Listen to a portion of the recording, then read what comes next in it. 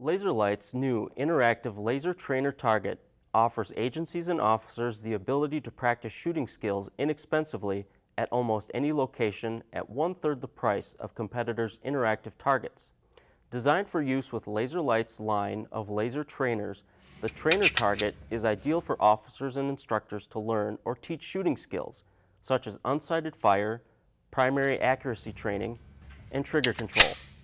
The LaserLyte's laser trainer is sold separately. To use the laser trainer target, simply aim at the target and dry fire an unloaded weapon with any LaserLyte laser trainer device.